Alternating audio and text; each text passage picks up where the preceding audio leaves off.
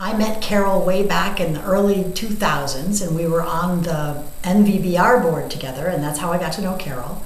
And we got started doing community involvement together. Great with us, with NVBR. She was wonderful on the board and uh, spent a lot of time helping realtors, but really her big focus has always been making a difference in people's lives. Carol, uh, she gets so many things done, and she's involved in so many other charities that you really don't know about them. She um, doesn't often, often mention all the things that she's involved with. But uh, we had an event to raise money for the uh, soldiers who've been lost in Iraq and Afghanistan and their families.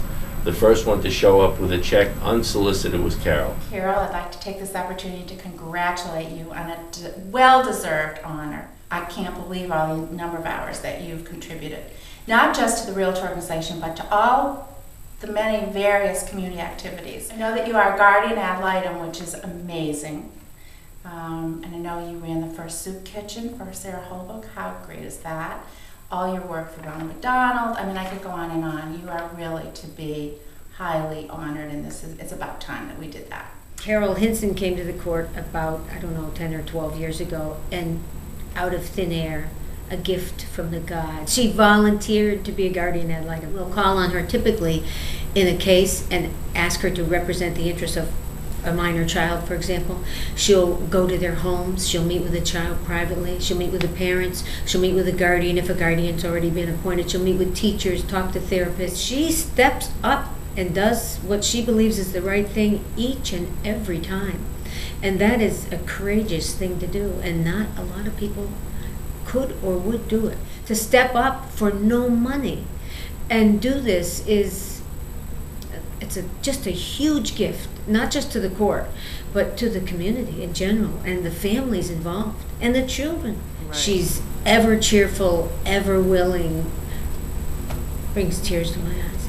She's an incredible person. I am happy to say that Carol Hinson, uh, who is being honored, has been involved with this organization for that, about that long, for almost 30 years. She not only has been involved in the Christmas Eve, coming here for providing a dinner for families with uh, that have been had to stay here during the holidays. She has been served on our board of directors. We did have some families that had uh, an illness called neuroblastoma, and Carol got um, attached or involved with some of the families that were here with that illness, and she would take them out on special trips and do some special things, some special outings with those children. It drew the family closer together, and she she was instrumental in, in helping them take their mind off their their illness for a while. And whenever there is a need for us to have a volunteer uh, represent the Ronald McDonald House Charities, she has always come to that, come to our aid and done that. I feel so blessed to call Carol Hinson a friend and also a supporter of the Flynn. And as a supporter, she's been one of those stalwarts. But she's this quiet stalwart. She does things very quietly in this community. She donates, she's a contributor to the Flynn's activities. She also has a scholarship in honor of her mother who loved dance. The scholarship right now is supporting 24 kids able to study dance with Flynn Arts, and that's uh, a major, major gift. What's what's nice about Carol is she has fun with all these things. There's joy in Carol. I just love Carol, and I'm so glad she's getting this recognition in our community.